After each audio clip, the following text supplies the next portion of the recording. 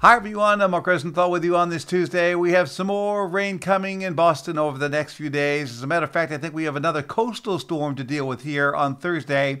And I wouldn't be surprised if some of us see some snow here late Thursday night or Friday morning as the storm redevelops off to our southeast and drags some colder air down from northern New England. It certainly bears watching.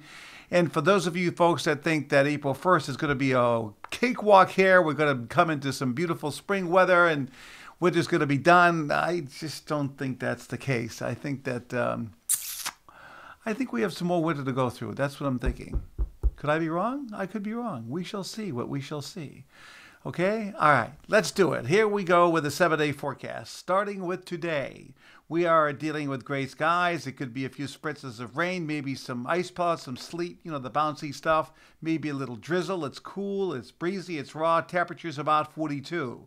Tomorrow, a murky start. We might see some sun. It could be in the 50s, but I think along the coast, it'll be in the 40s with a sea breeze. Showers could arrive by evening. Showers Wednesday night, turning into a rain situation on Thursday with low pressure reforming to our south. And then Friday's a little funky in the morning. Rain or rain or wet snow gradually ending, windy and cool. But the weekend looks great. Saturday 58. And for Easter Sunday, lots of sunshine in the 50s. Next Monday is looking great as well. But I just had this.